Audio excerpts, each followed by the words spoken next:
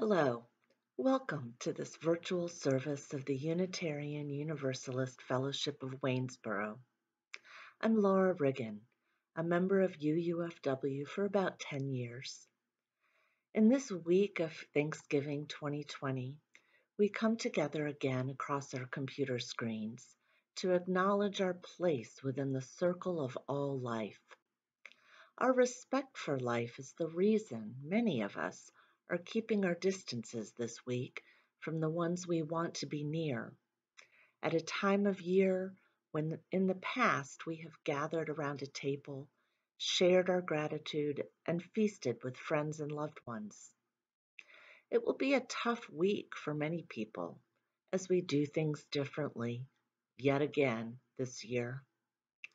But as Unitarian Universalists, we acknowledge ourselves to be in a relationship with each other and our community that is responsible, loving, and compassionate. This relationship to each other, it is who we are and what we do. It's why many of us come to this place, or lately this YouTube channel, each week. This week, from afar, may we honor the gifts that each of us brings to the table. Welcome. The flaming chalice is a symbol of our movement and our faith. As it is lighted, please hear these words. May the light we now kindle inspire us to use our power to heal and not to harm, to help and not to hinder, to bless and not to curse, to serve you, Spirit of Freedom.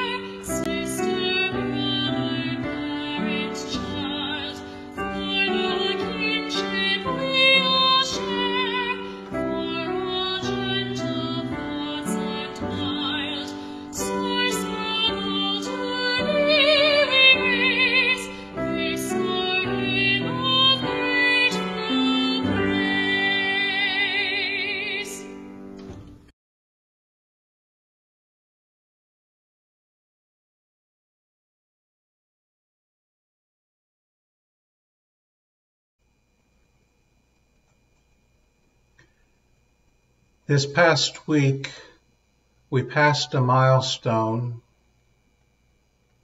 a milestone we wish we had not needed to pass. A quarter of a million people have died in America from COVID 19. We all know the backstory.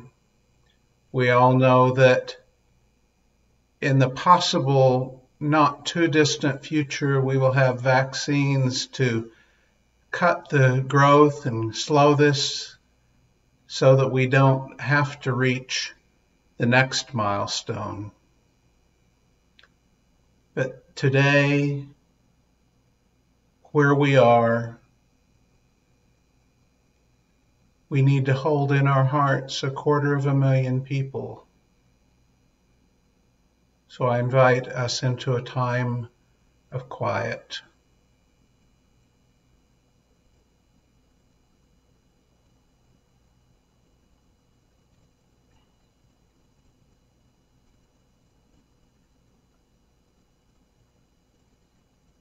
Amen. Our words of prayer today are by Lynn Cox. Spirit of life and love, known by many names and yet fully known by none, we give thanks for this time of renewal. We give thanks for the ability to begin again after the disaster, after the tragedy, after the loss after meeting the challenge set before us. Grant us the courage to continue on the journey, the courage to speak up for the well being of others and for ourselves and for the planet. May we forgive each other when our courage falls short, and may we try again. Grant us hearts to love boldly to embody our faith and our values in living words and deeds. May our hearts open to embrace humility, grace, and reconciliation. Grant us the ability to learn and grow, to let the Spirit of love and truth work its transformation upon us and within us.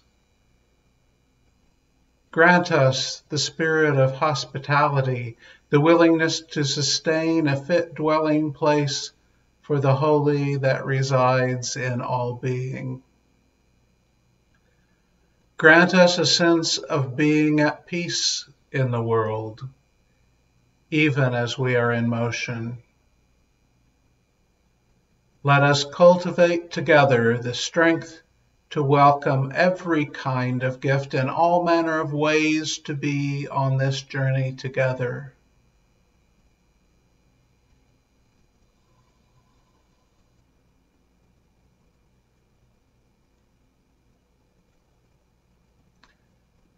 On Sundays, as we gather, it is our custom to share our joys and sorrows, those things in our personal lives which are beyond the ordinary, beyond the everyday. To share what is most meaningful, most challenging, most amazing for us in our lives. This week, Kay Yost writes, Due to increasing challenges with mobility, Grace Leary made the difficult decision last week to move into assisted living. Please keep Grace, her daughter Shingy Desiree, her niece Kay, and the rest of her family in your thoughts and in your prayers as they navigate this difficult move during a pandemic when no one is allowed to enter Grace's new living space. Let us hold this and all joys and sorrows unspoken this morning quietly in our hearts.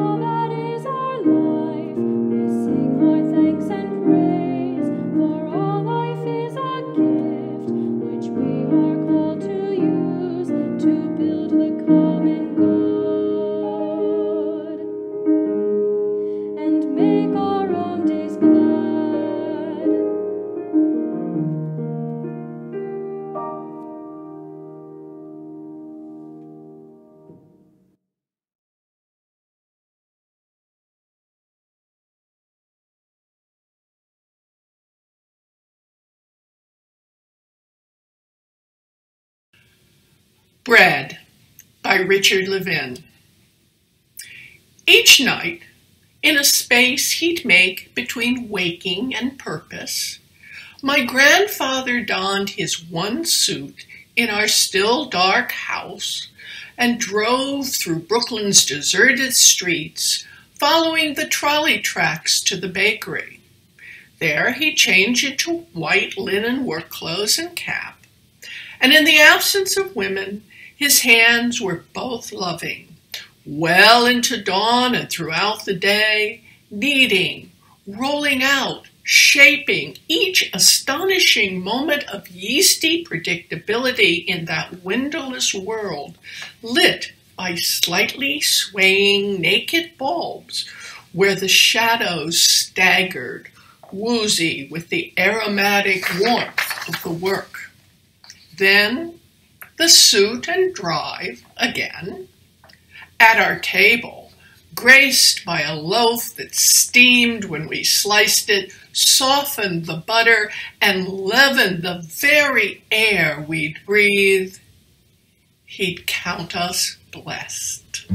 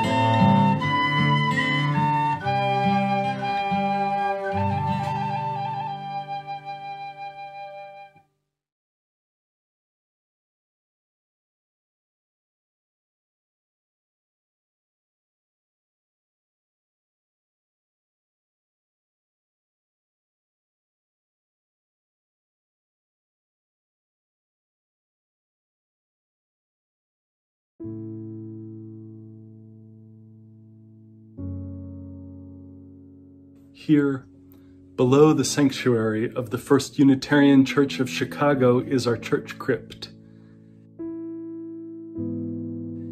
Here rest the remains of church members and neighborhood folks, ordinary people who lived ordinary lives, often through extraordinary times. They were like us, with hopes and fears and dreams and uncertainties. They were babies and elders, and they are here with us. When we meet in person, the architecture of the building makes visible a hidden reality that our feet are held up by the past as we walk into the future. On this Thanksgiving, we remember the past because we believe in the future.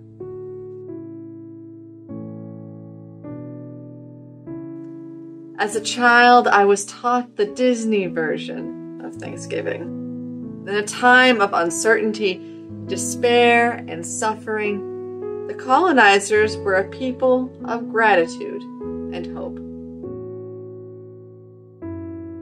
And this is true and beautiful and incomplete.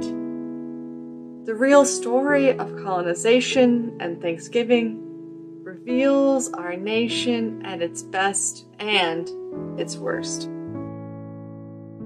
not just an aspiration to freedom from tyranny, but also theft, violence, and hate. Not only a wish to say we before I, but also a ruthlessly narrow definition of who we includes. In every generation forward from 1621, the colonizers living in the land that became this nation failed to adequately answer Who is this American freedom for? Who is my neighbor? Four centuries have carved a system of white supremacy into the lives of this continent. You know the history the ethnic cleansing and genocide of Native peoples, a national constitution founded on race slavery, immigrants, right now, in this hour, imprisoned in concentration camps on our southern border.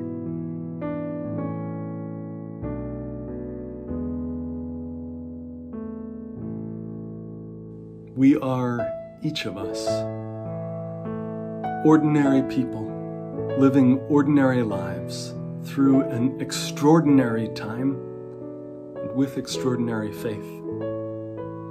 We remember the whole and difficult past. We remember this complicated present. We name it because we believe in the future. Living on the threshold between ancestors and generations still to come, we are the inheritors of our liberty, hard fought freedoms, a people of gratitude. Like you, we are a people committed to winning freedoms our own ancestors could not make real or could not even see as necessary. A people believe that the faith we profess must be made real in the shape of our living together.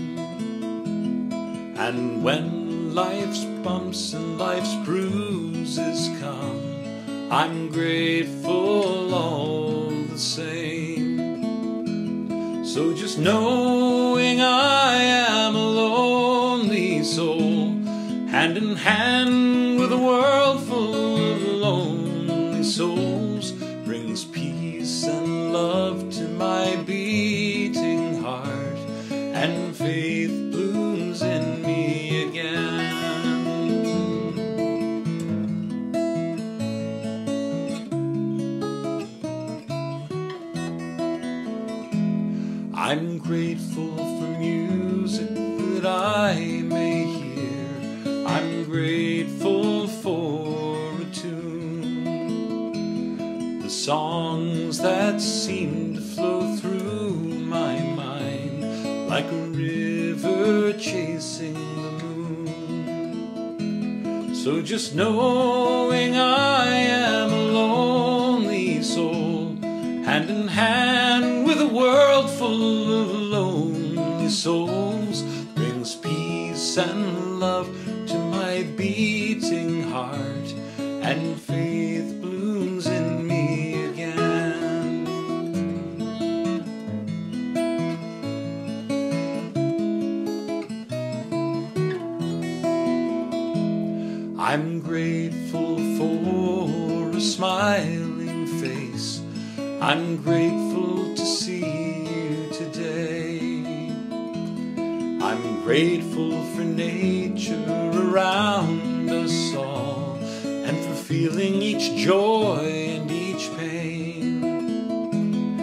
Somehow knowing we are all lonely souls, hand in hand with every lonely soul, brings peace and love to each beating heart, and faith blooms in us again.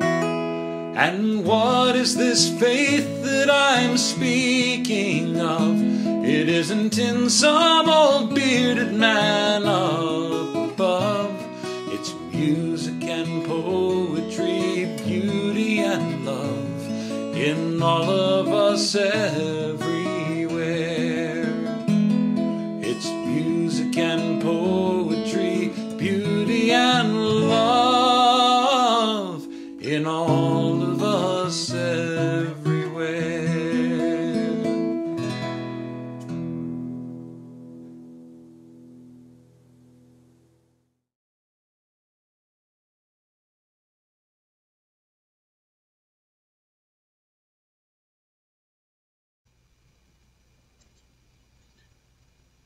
Over the last few days, I've been reading a collection of Christian sermons titled Preaching in Hitler's Shadow Sermons of Resistance in the Third Reich.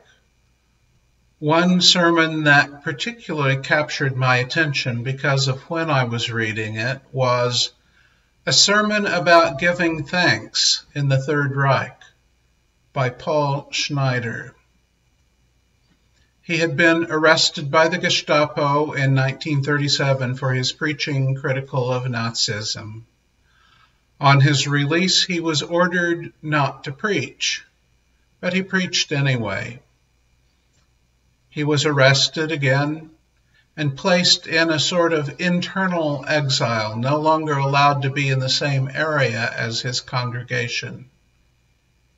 He refused and preached anyway. He was arrested again and in confinement surreptitiously wrote the sermon that I read in this particular collection of sermons.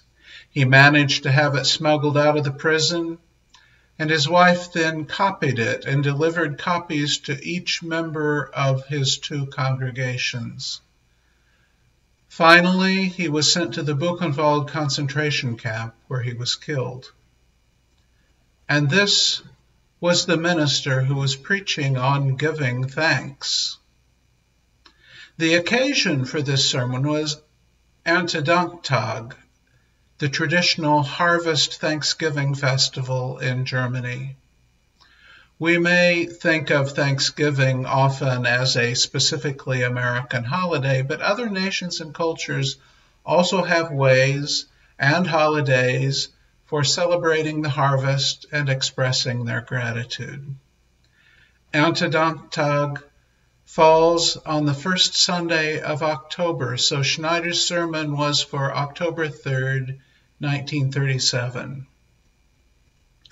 His theology is, of course, specifically Christian and of its time, not one that would easily simply be read into our time and our services, but it is moving that this arrestee in prison, being tortured hours on end, nonetheless found something with which to encourage his flock to be grateful. He focuses from the beginning of the sermon on two little words in the Psalms rather than on any grand narrative. He focuses on the capitalized words that in English have often been rendered, at least until the late 20th century, as thou and thee, referring to an idealized, personalized view of the divine. He quotes from Scripture, so long as the earth stands, shall not cease sowing and harvest, frost and heat, summer and winter, day and night.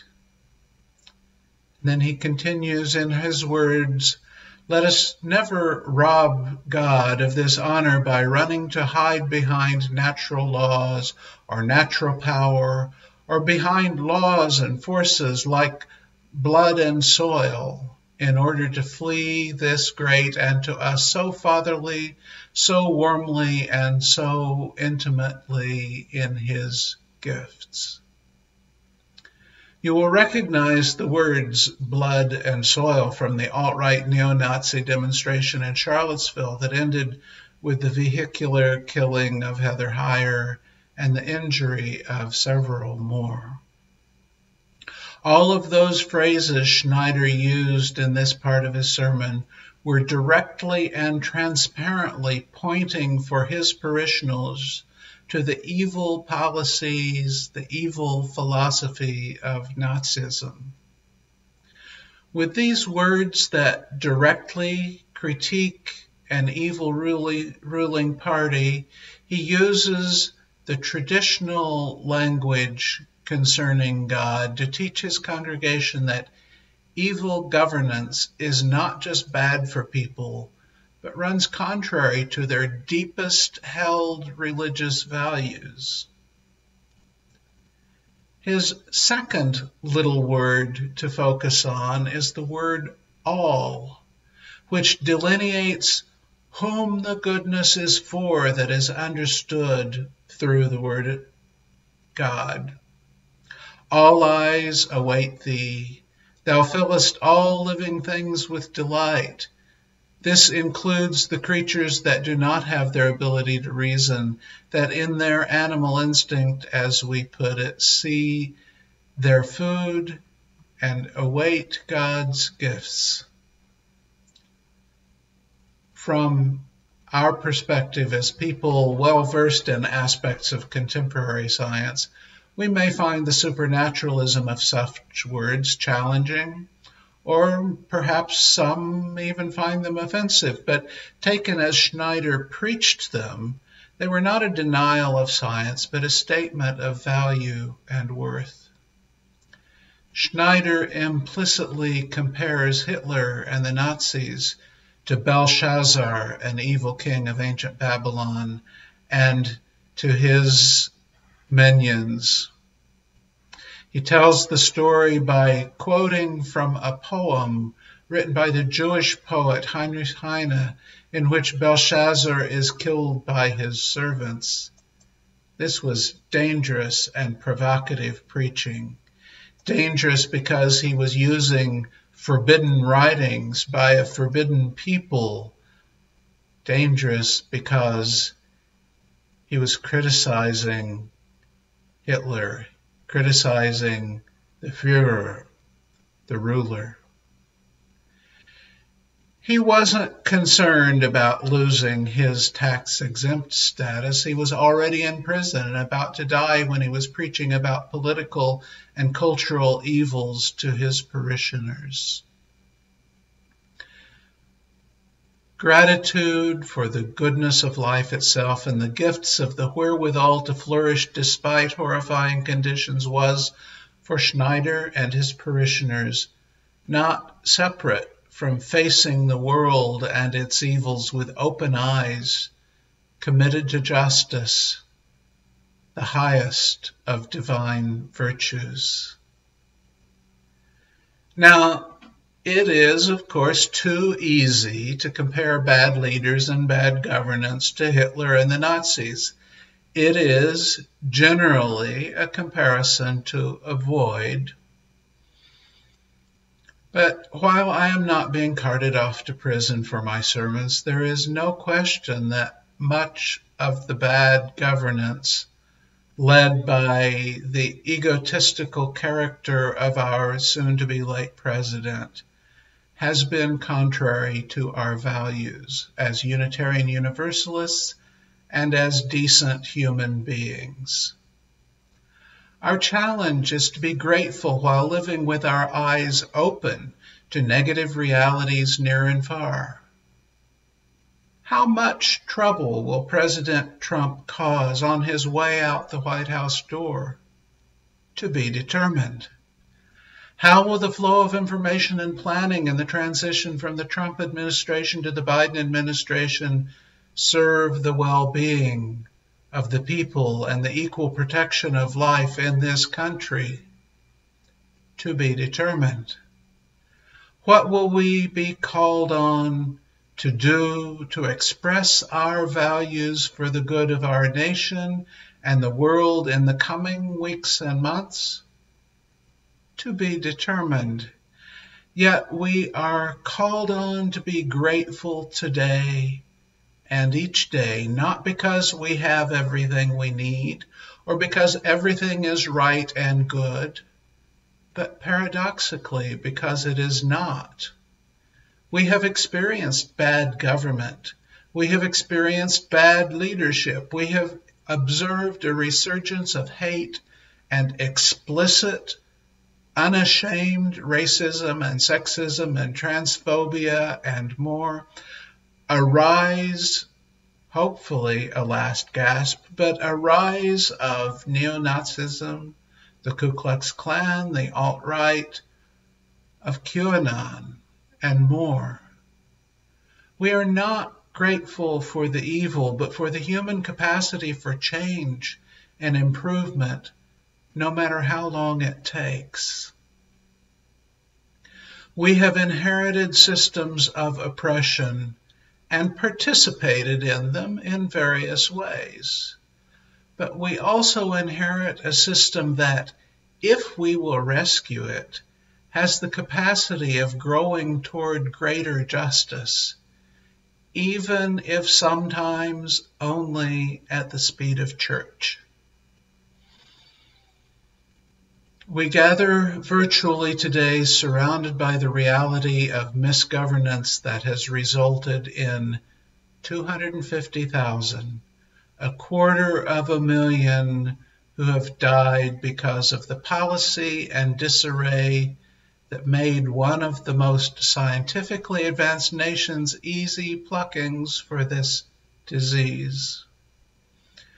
We can be grateful for the developing treatments and vaccines that we trust eventually and hopefully soon to bring us out on the other side of this deadly and horrific experience of loss and danger and isolation.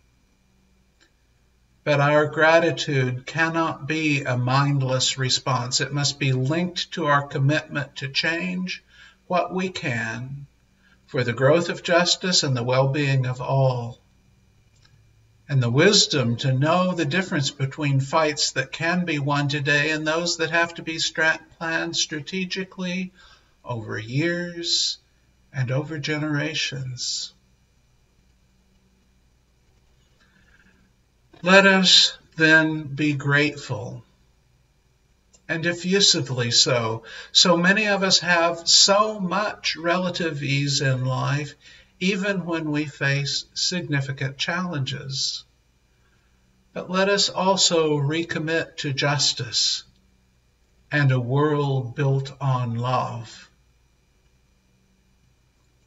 Amen and blessed be.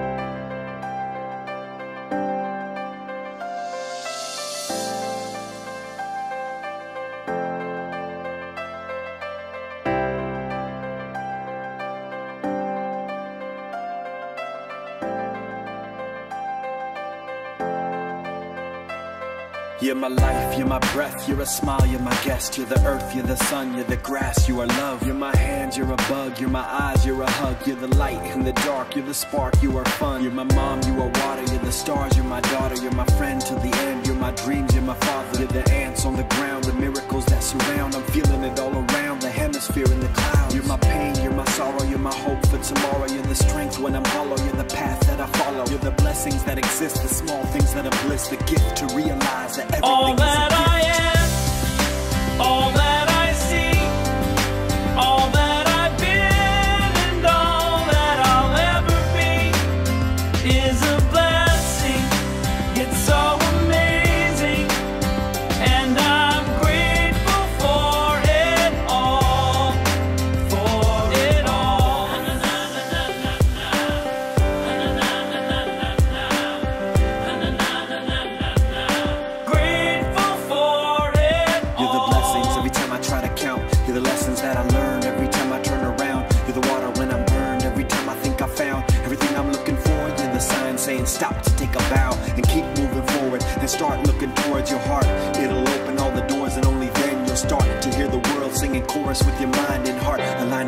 aligned. Everything will feel gorgeous.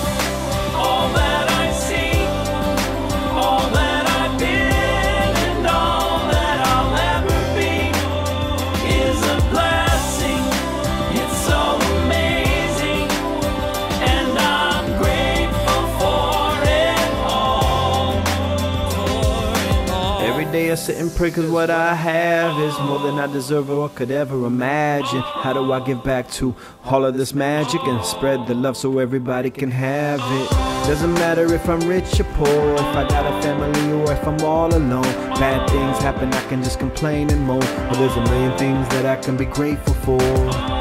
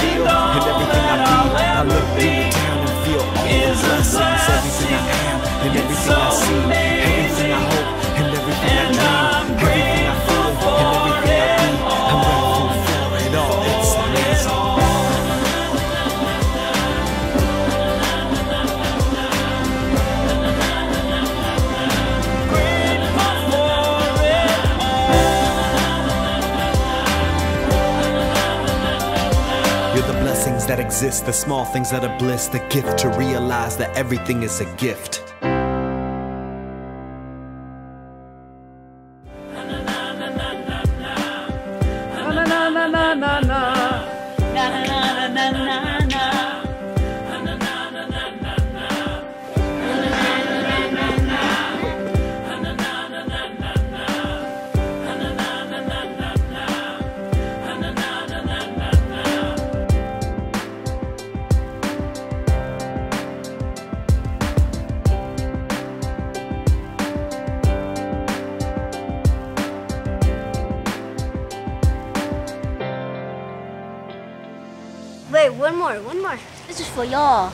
That uh,